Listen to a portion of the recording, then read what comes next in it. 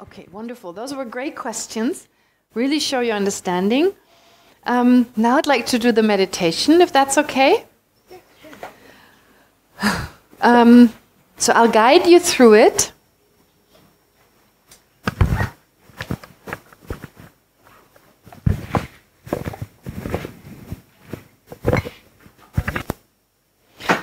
What I'll ask you to do, so just that you're prepared, this is just a guided meditation in that you may have different ideas that you come up with.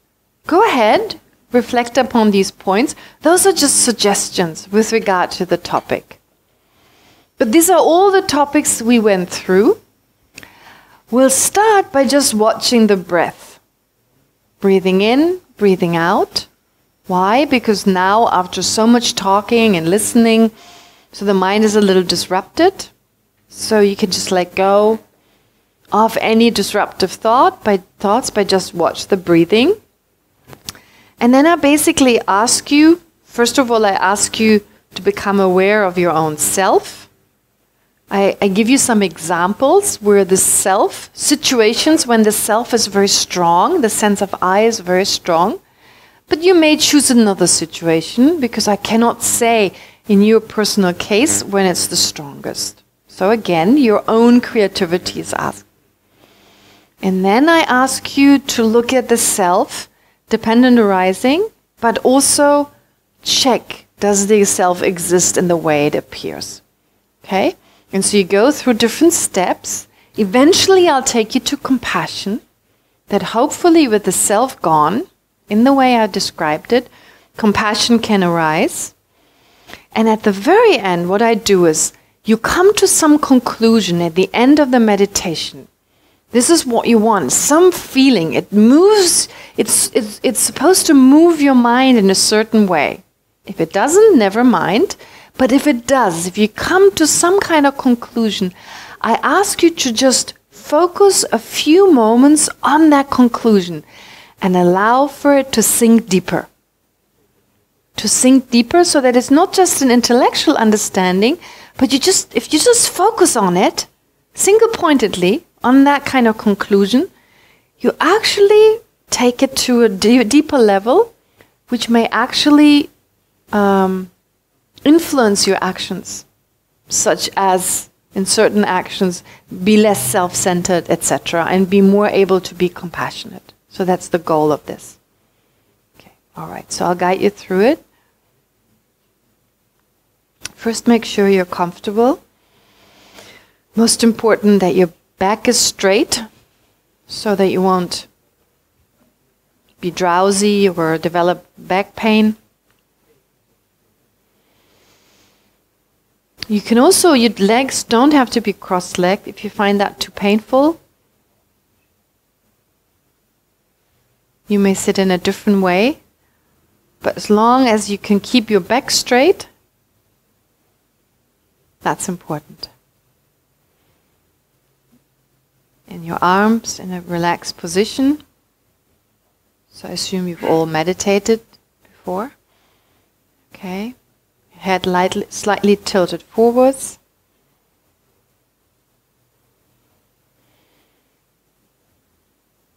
Either you keep your eyes slightly open, or if you find that too distracting, you can close your eyes.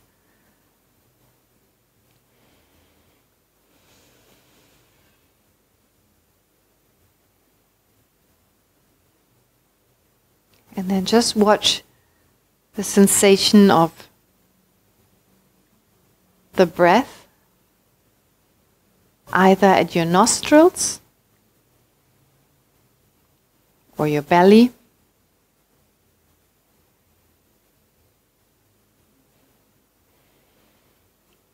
Take a few moments to focus the mind until I start to guide you through the meditation.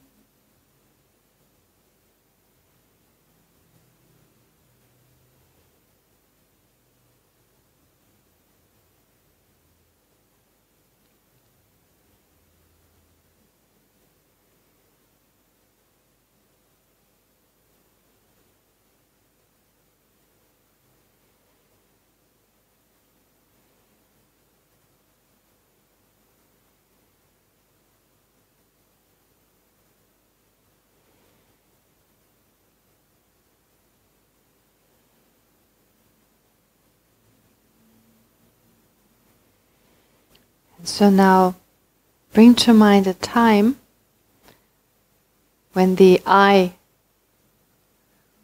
or the self appears especially strong to your mind.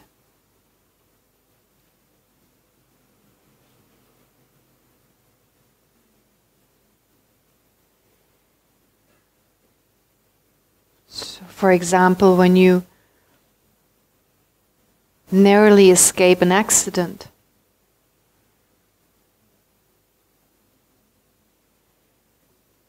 when there's a powerful sense that the I nearly suffered pain or death must be protected.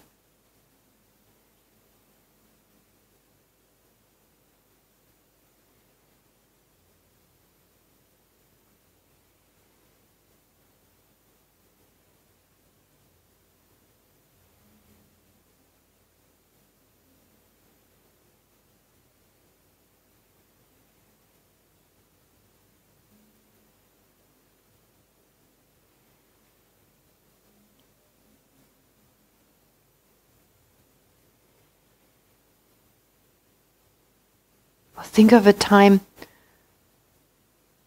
when you're embarrassed.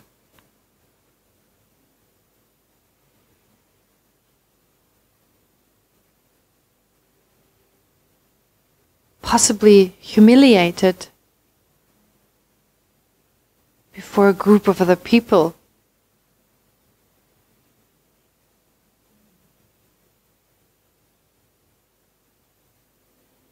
Accusing you of something you didn't do.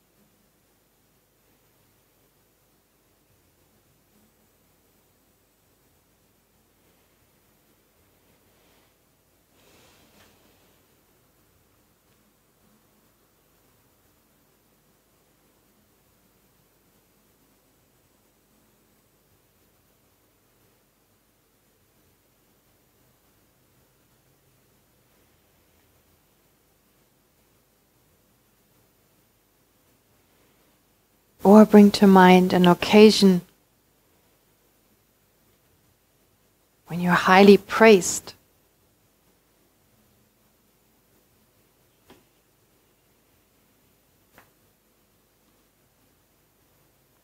When you're complimented, complimented or applauded by others.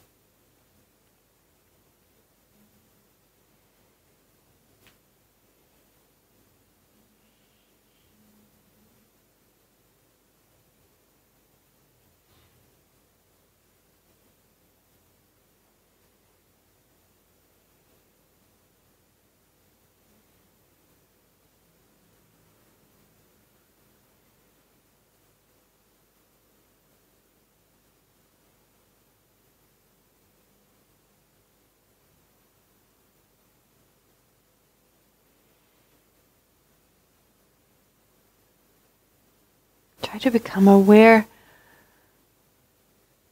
of the sense of a very solid, concrete,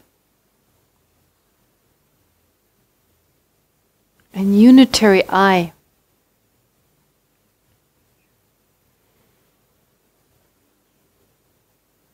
That is inherent in you.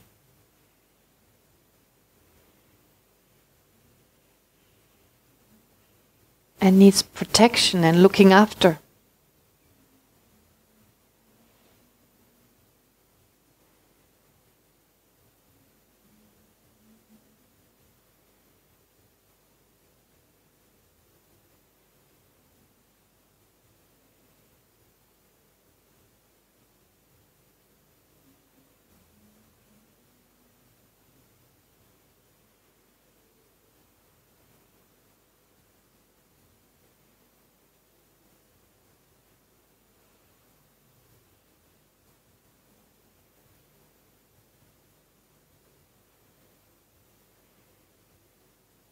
Is that sense of a self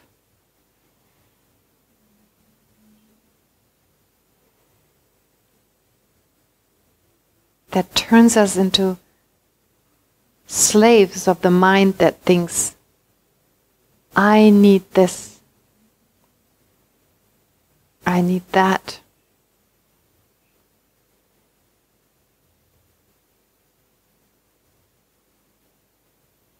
I don't want this, I want that.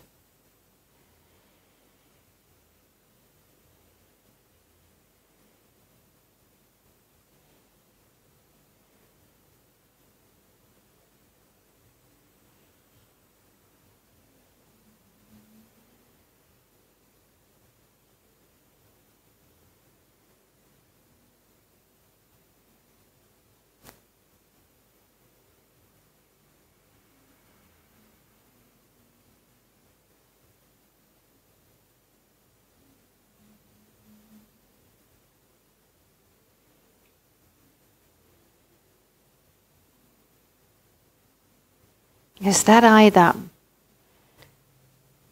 makes us run around to fulfill our craving.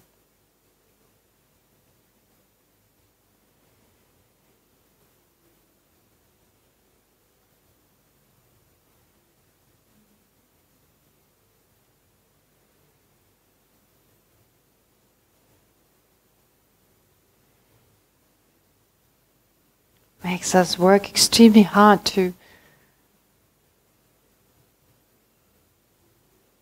get a promotion,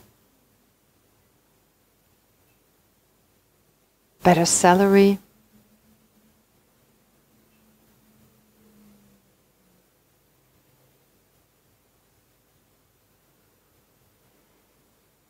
Have a good reputation.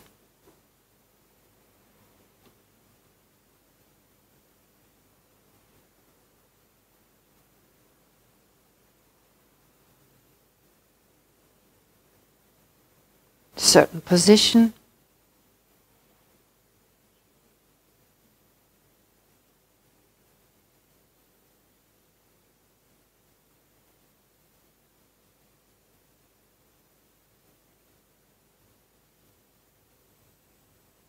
And possibly even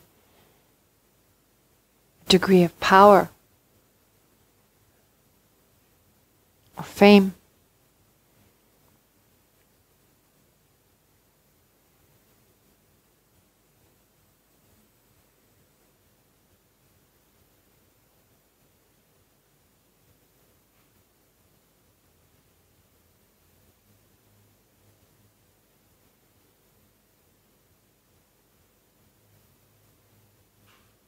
That sense of an I never rests.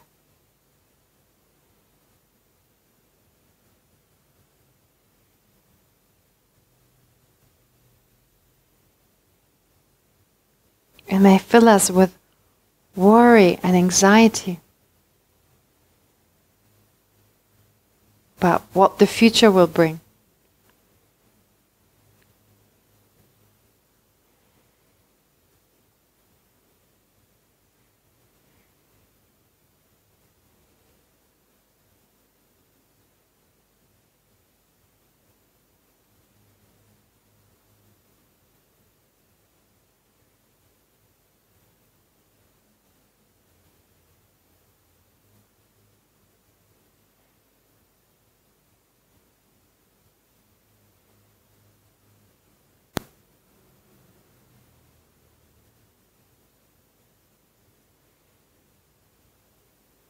See whether you can get a vivid sense of that I.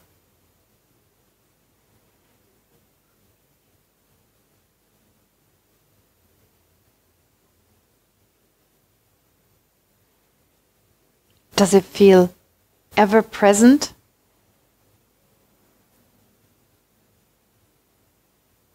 And unchanging?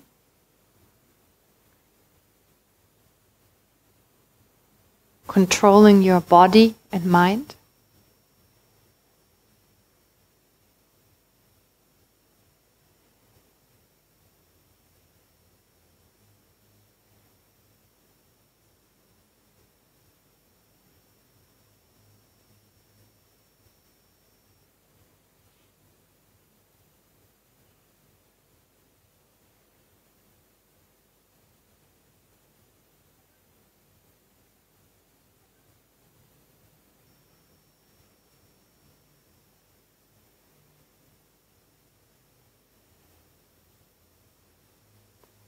Does it feel as if it could be located somewhere in the body?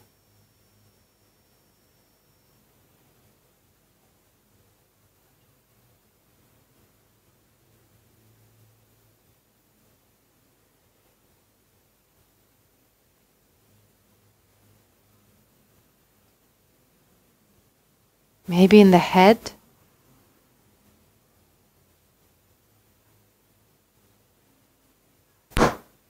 In the region of the eyes.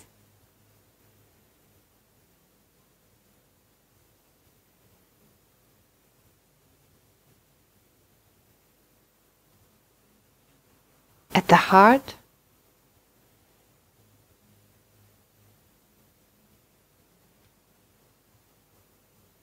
or somewhere in the belly.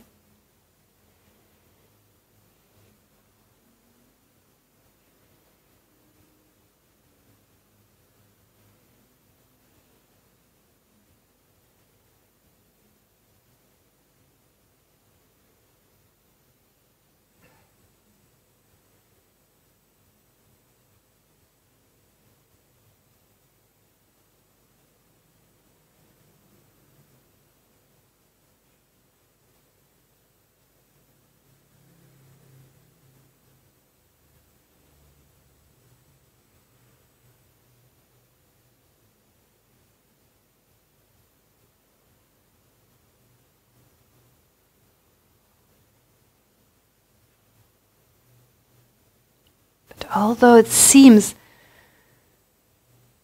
that the I has some independent, permanent existence,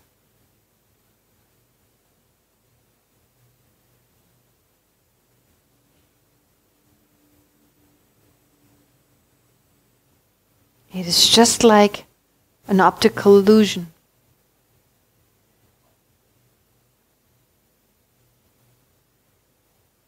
Appearing to exist in a way that is not possible.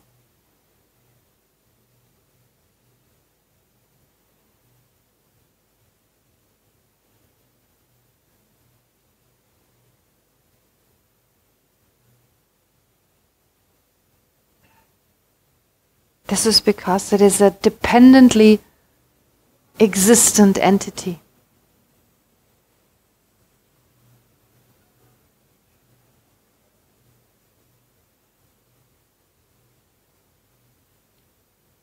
Dependent on causes and conditions, dependent on parts,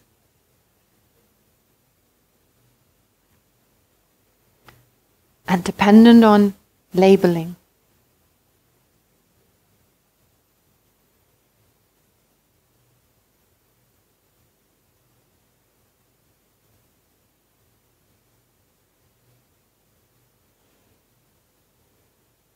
So let's con- let's consider the first type of dependence.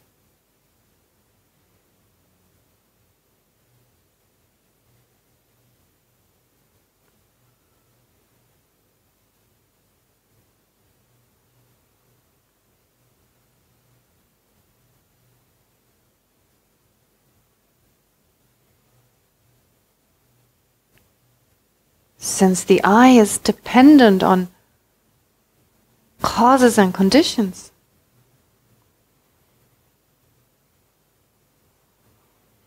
It is not static.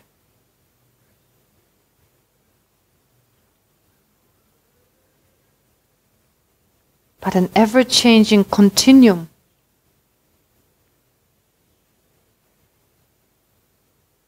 That is never the same from one moment to the next.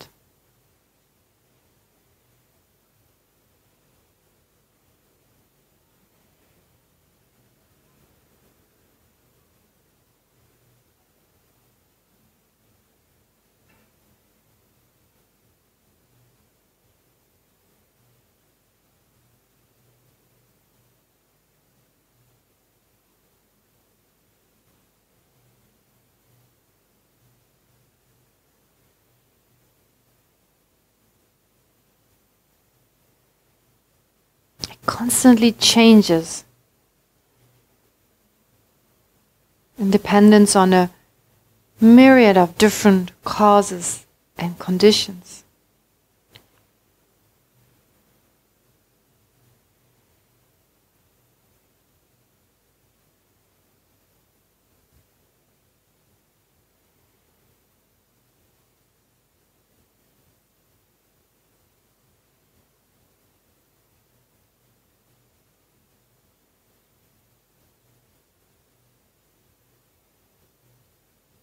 Dependence on the karmic actions.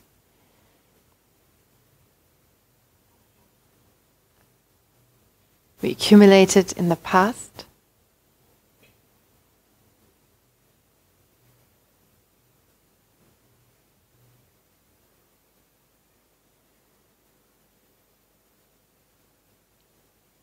Dependence on the DNA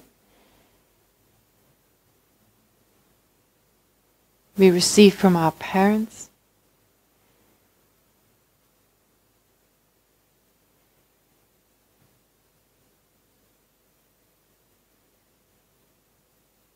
Dependence on external circumstances.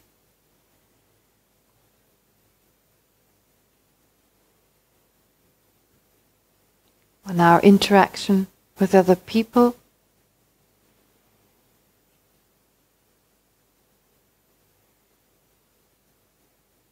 On the things we learn and reflect on, and so on.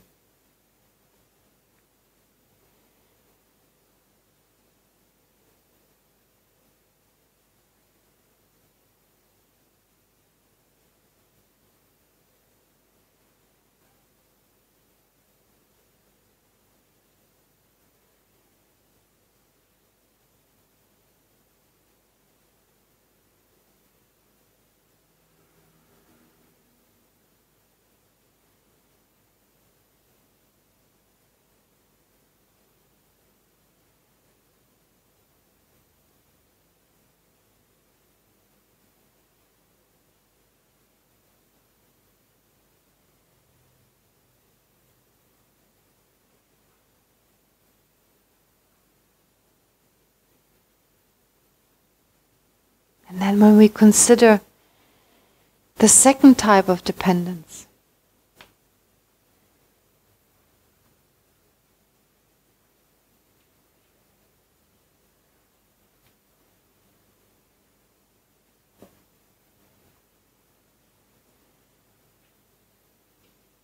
The I cannot exist as a solid, concrete, and unitary phenomenon as it is made up of numerous different parts.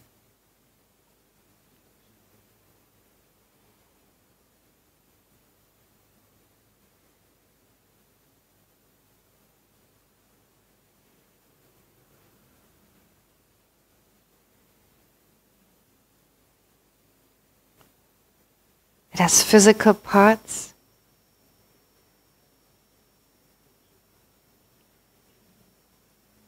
Such as a head, a neck, a torso, arms and legs.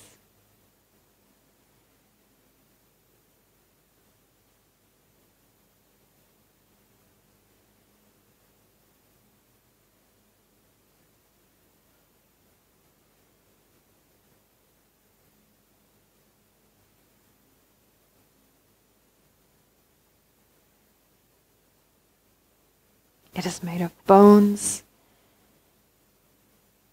blood vessels, muscles,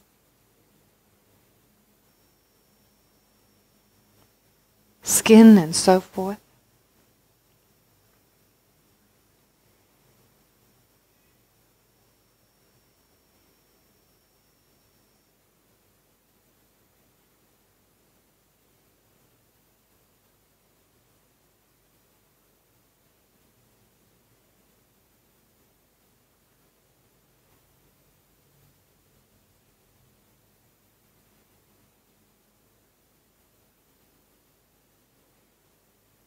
And on a subtler level, it is made of trillions of cells.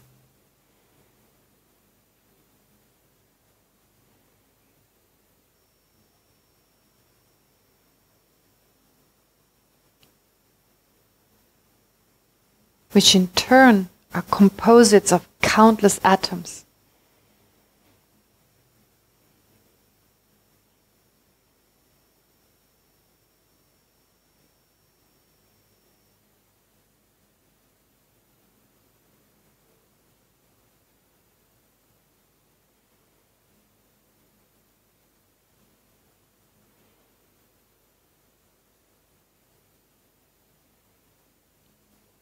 And the I further possesses different types of consciousness.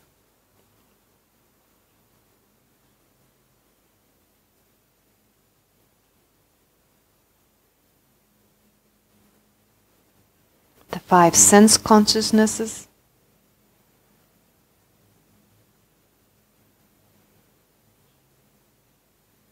And the mental consciousness.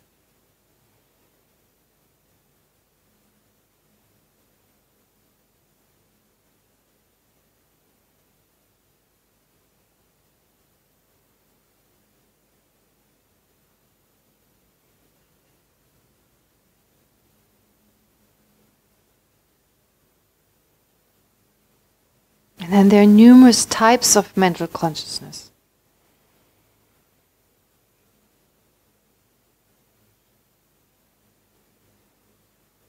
Anger, attachment, love, compassion.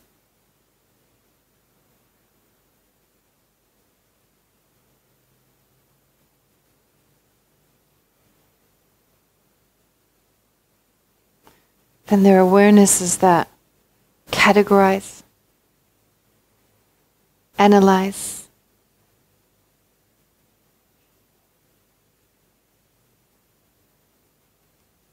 judge, doubt, concentrate, and so on.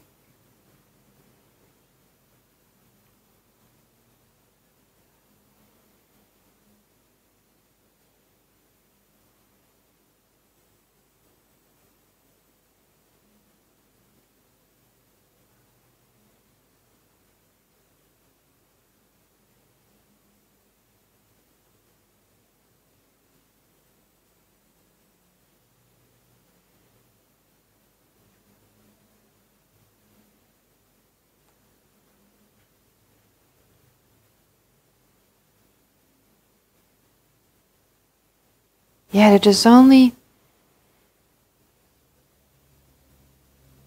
the labeled, the conventional I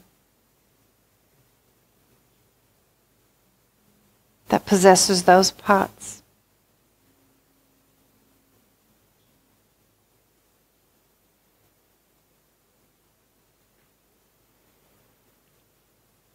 For the solid, inherent I that appears to us.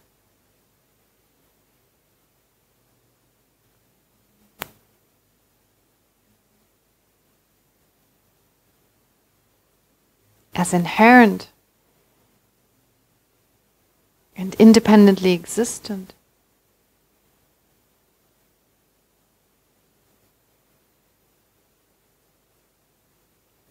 That cannot be found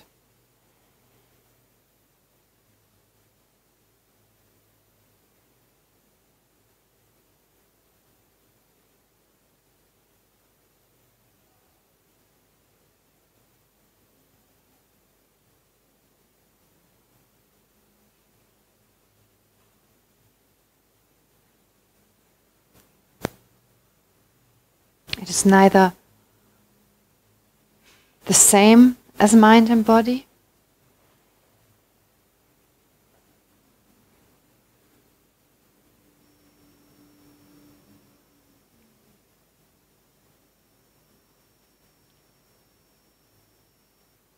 Nor different from it.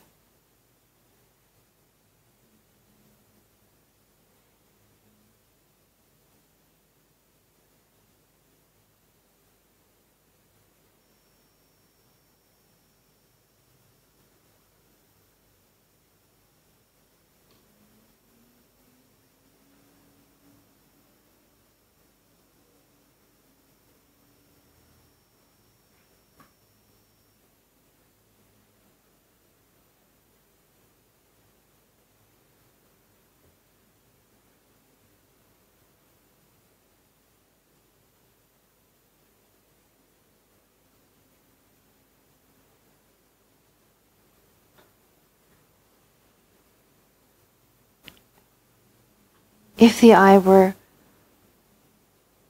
if that I, that concrete I that informs all our actions, if that were one with mind and body,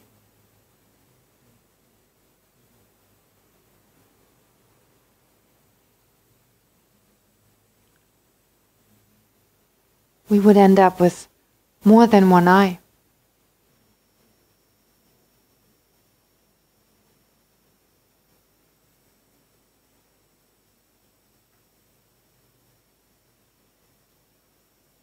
And if it were different from mind and body,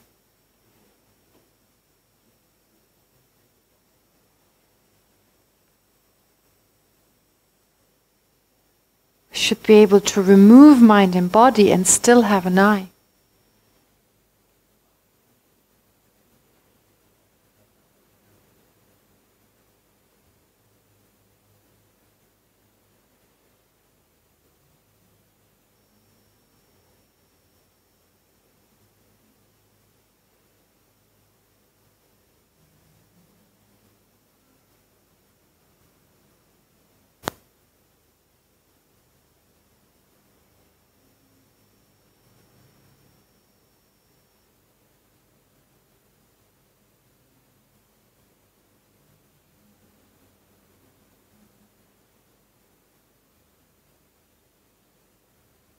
would also not make sense to say that the I is the collection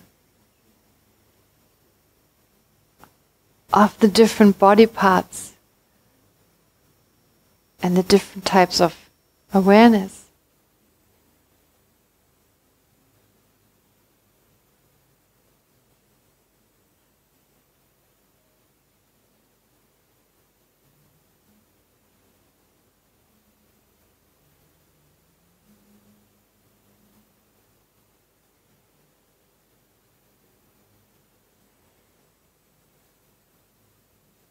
For it would mean that if the I is sick,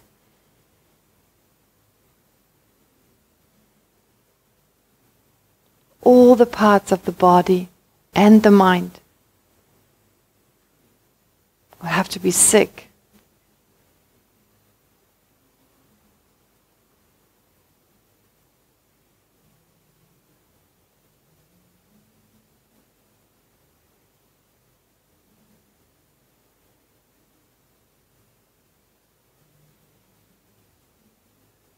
And if the person or the I were to wave,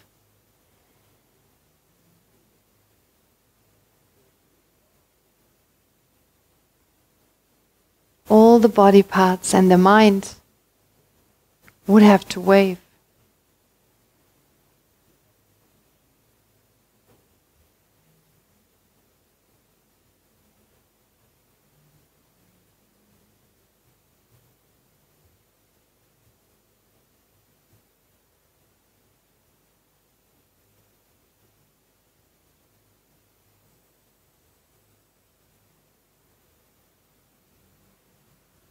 So that takes us to the third type of dependence.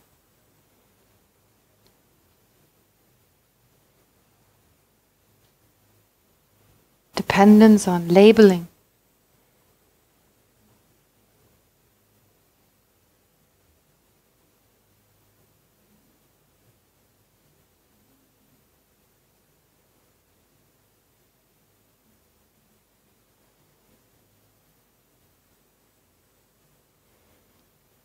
The I does neither exist as a solid, an inherent entity that is either one or different from mind and body.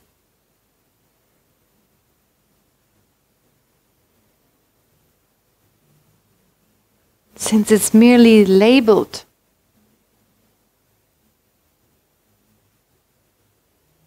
on the basis of its basis of imputation mind or body.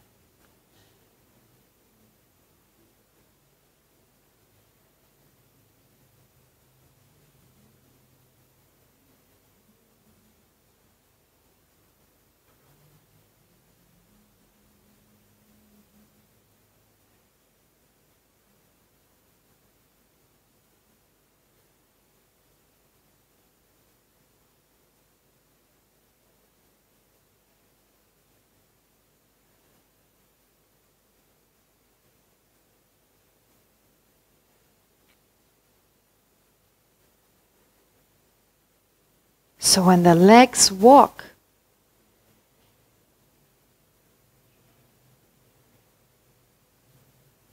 we label I walk.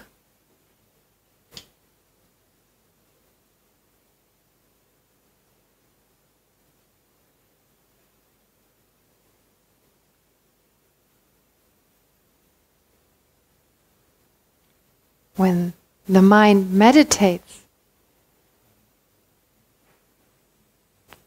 we label I meditate.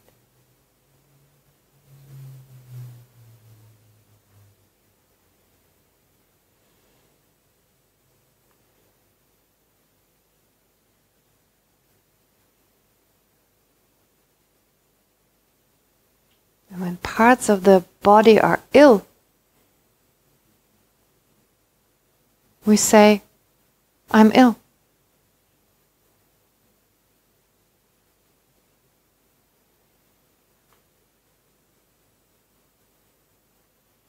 There's no other self, no other I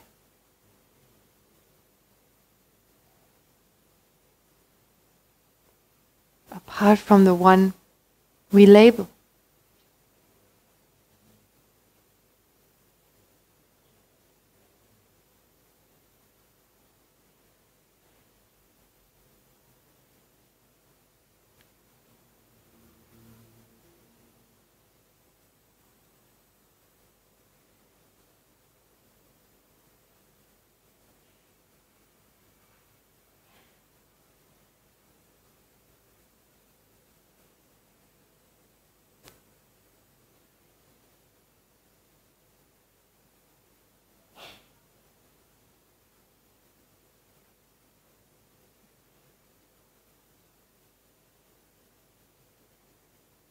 So, since there is no such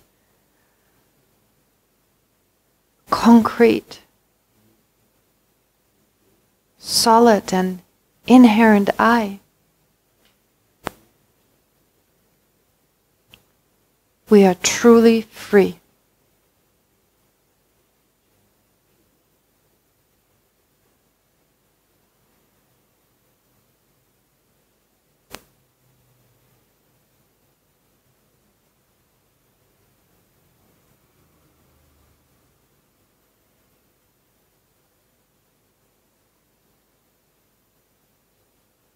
No I to worry about.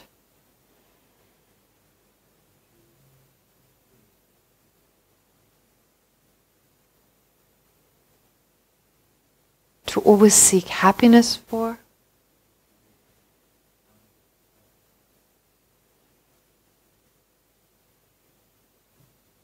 To make sure it's liked and appreciated.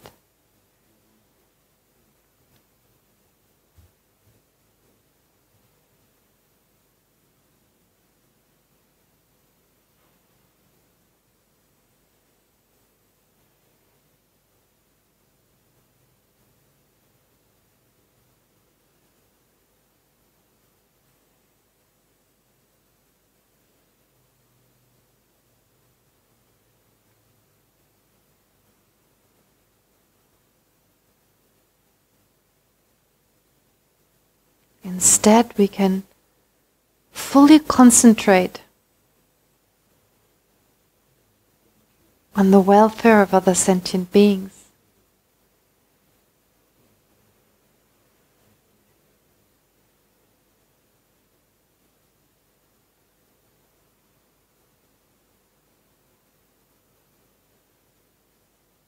First, generate compassion.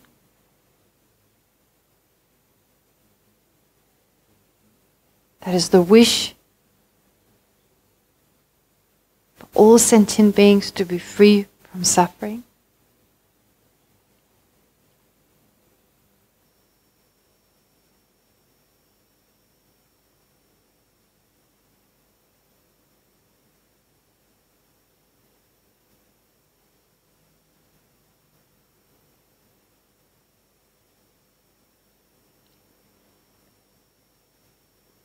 and the altruistic attitude, thinking, I myself will work towards freeing other sentient beings from suffering.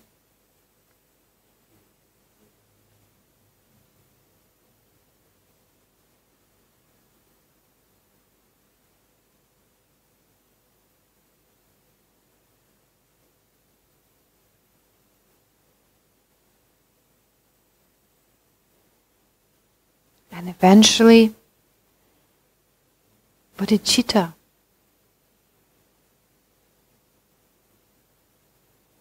The wish to become fully awakened so I can be most effective in my striving to lead others to lasting happiness.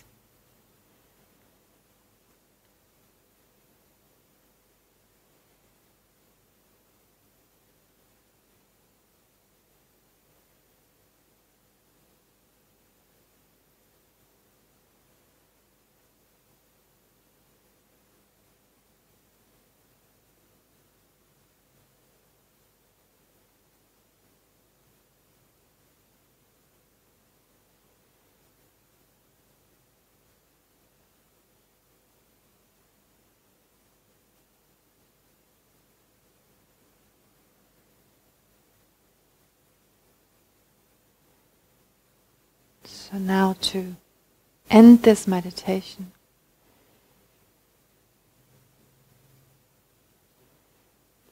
Whatever feeling has arisen in your mind,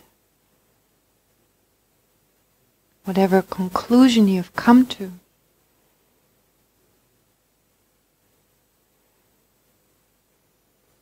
Spend a few moments just focusing on that.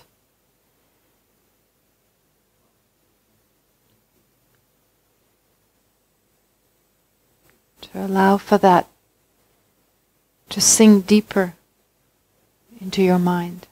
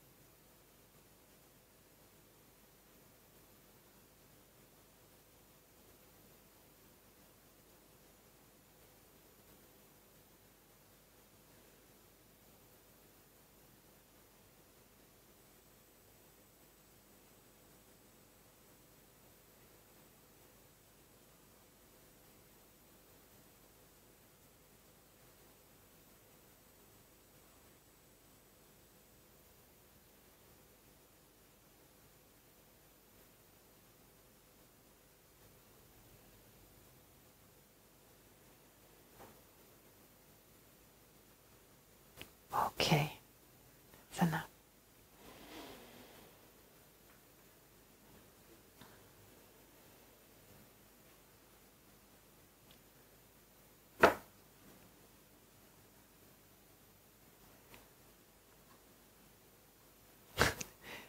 that was a little long. I think that was about 40 minutes. I really stretched it.